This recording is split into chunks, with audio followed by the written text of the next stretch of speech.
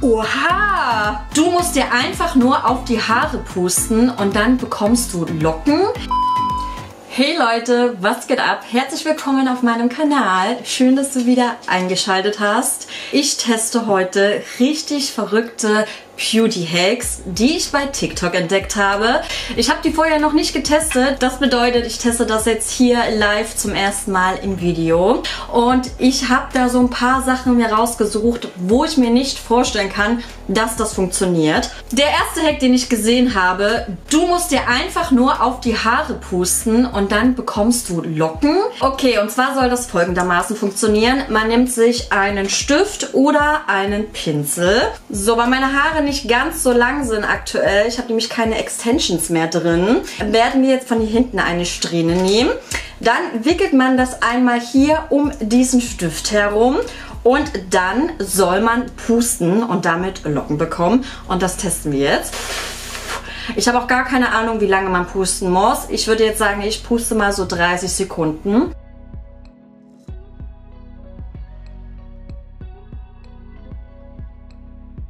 Okay, ich habe jetzt lang genug gepustet. Ich bin gespannt, ob das funktioniert hat, Leute. Also eigentlich ist es einleuchtend, weil es ja auch Wärme ist, wenn man pustet. Dementsprechend formen sich ja dann die Haare zu locken. Aber wir gucken jetzt mal. Oh mein Gott, wenn das funktioniert. Oha! Tatsächlich! Könnt ihr das sehen? Ich habe einfach eine Locke. Wie krass! Ich bin gerade total geschockt. Ich habe wirklich eine Locke. Also tatsächlich nur hier unten. Aber es ist eine Locke geworden. Einfach pusten, Leute.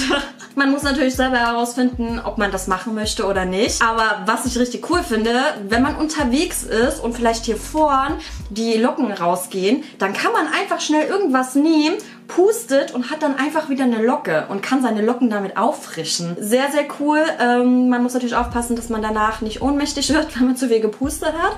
Aber dieser Beauty-Hack funktioniert tatsächlich. Kommen wir zum nächsten Beauty Hack. Und zwar kann man ganz easy innerhalb einer Minute sich so die Lippen massieren, dass die aussehen, als wären die gemacht. Damit wir natürlich hier nicht schummeln und ich das auch wirklich testen kann, werde ich erstmal meinen Lip Liner entfernen. Ich habe nämlich leicht Lip Liner vorn drauf. Und zwar soll man erst einmal die Oberlippe nehmen und die so kneten, fünf bis zehn Mal ungefähr. Völlig verrückt. Machen wir jetzt.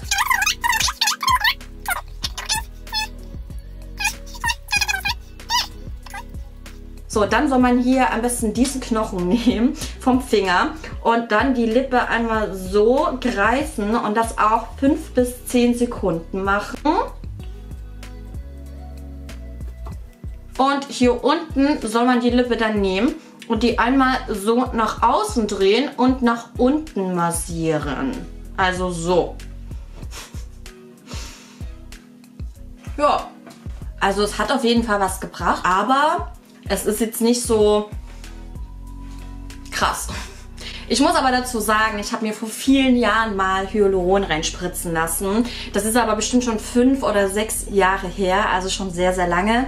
Waren auch nur 0,5 Milliliter, die sind auch mittlerweile wieder raus. Aber natürlich, wenn man die Lippen so arg massiert, dann schwellen die natürlich etwas an und dadurch wirken die voluminöser. Das ist ja auch der Trick oftmals bei Lipgloss mit Chili oder so, weil das Chili natürlich auch die Durchblutung anregt und dadurch hat man immer so eine optische Vergrößerung der Lippen. Aber es bringt auf jeden Fall was, wenn man mal so zwischendurch sich etwas die Lippen auffrischen möchte. Ist auf jeden Fall ein cooler Hack.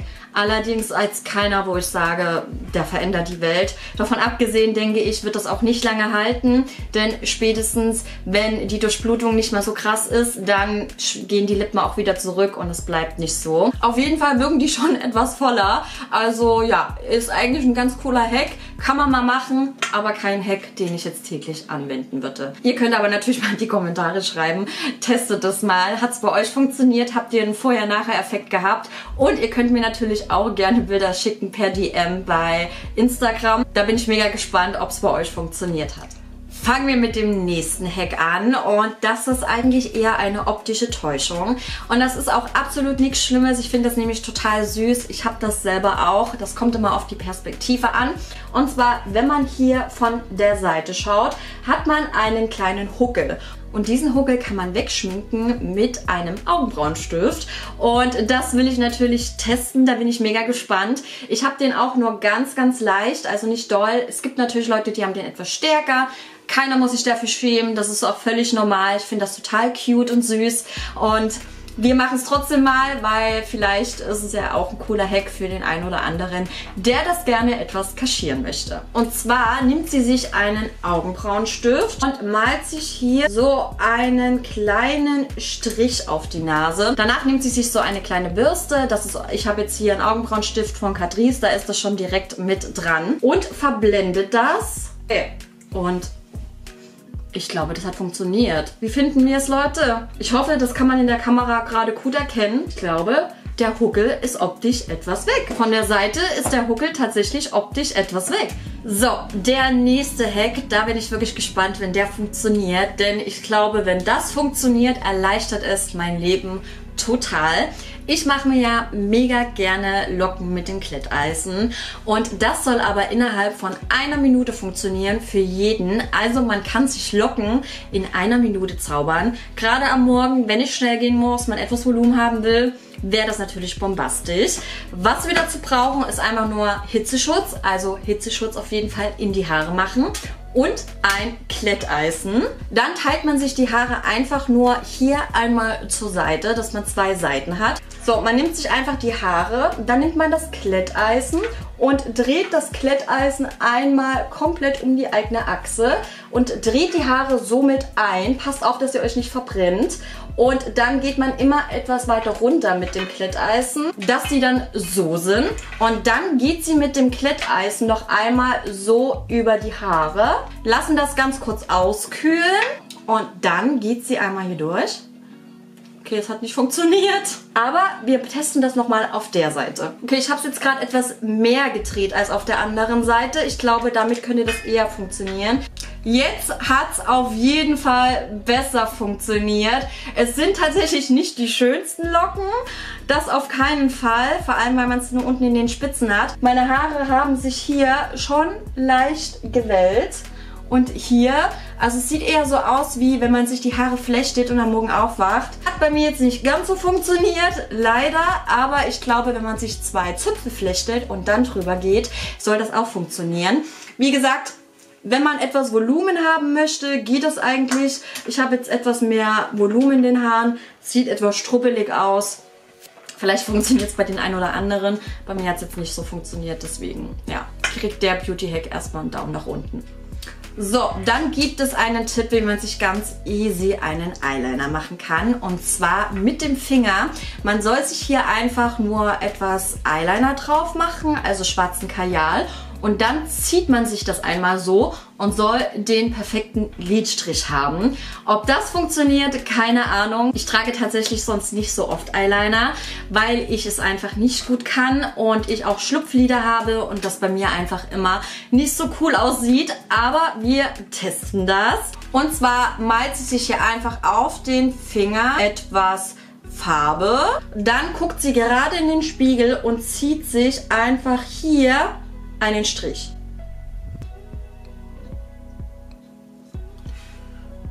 Okay. Das ist nix. Wir probieren es auf der anderen Seite nochmal. Ich mache jetzt mal nur einen Strich. Ich glaube, damit funktioniert das besser. Ich glaube, ich habe das falsch gemacht. Ich sehe gerade aus wie ein Clown. Man soll sich, glaube ich, nur einen Strich machen und wir probieren das jetzt nochmal. Ich gehe jetzt hier ans Augen, an den Augenrand, so, und ziehe das jetzt hier hoch. Oh, wow! Seht ihr das? Ich habe den perfekten Eyeliner-Hack. Leute, Das hat funktioniert. Mega gut. Jetzt kann man theoretisch, wenn man möchte, den Teil noch verbinden. Aber für Leute wie ich, die Schlupflider haben und wo man das nicht so gut hinbekommt, ist das einfach der perfekte Hack. Das geht unnormal schnell. Das dauert ja nur ein paar Sekunden. Wie gesagt, einfach so einen Strich malen und dann zieht man sich das hoch und man hat einfach einen Eyeliner. Leute, ich bin total begeistert. Ich werde in Zukunft meinen Eyeliner nur noch so anmalen. Richtig cool. Kriegt von mir auf jeden Fall einen fetten Daumen nach oben. Machen wir weiter mit dem letzten Hack. Und zwar volle, voluminöse Lippen wie Kylie Jenner. Und ich habe das noch nie so gemacht. Ich sehe das immer bei ganz vielen. Die haben dann immer so richtig schöne Kylie Jenner Lippen. Und wie das funktioniert, zeige ich euch jetzt. Wir testen das. Und zwar malt sie sich direkt über die Lippe, also wirklich richtig über die Lippe einen Strich. Könnt sehen, ich habe den jetzt hier oben gemalt. Und dann verbindet sie das, aber sie endet wieder hier an der Naturlippe. Das bedeutet, ihr malt nicht komplett den ganzen Mund rum, sondern geht hier entlang und geht dann zur Naturlippe. Und was wichtig ist, ihr geht nicht bis an den Mundwinkel, sondern wirklich nur hier davor, auch an der Unterlippe.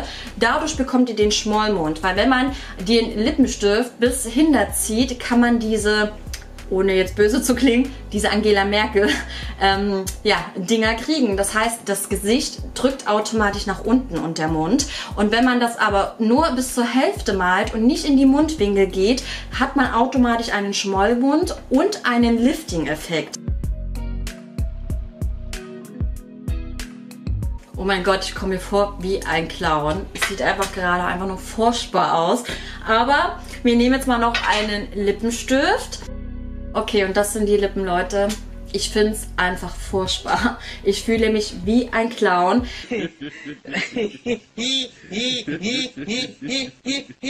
Ich muss auch sagen, ich habe glaube ich nicht die perfekte Lippe dafür, weil meine Oberlippe sehr nach vorn absteht. Dadurch fällt bei mir dieser Unterschied auch extrem auf. Vielleicht hätte es auch ein anderer Lip-Liner besser gemacht, also dass man nicht so einen dunklen nimmt, sondern den helleren. Und ich glaube, ich hätte es auch etwas weiter runterziehen müssen. Ist jetzt nicht so meins. Fühle mich etwas komisch. Ich glaube auch, dass ich mir so meine Lippen nicht schminken werde. Ja Leute, und das waren die Beauty Hacks, die ich für euch und natürlich auch für mich hier im Video zum ersten Mal getestet habe. Ich muss jetzt erstmal diese Lippen abschminken, weil ich mich selber gerade gar nicht ernst nehmen kann, also so wirklich null.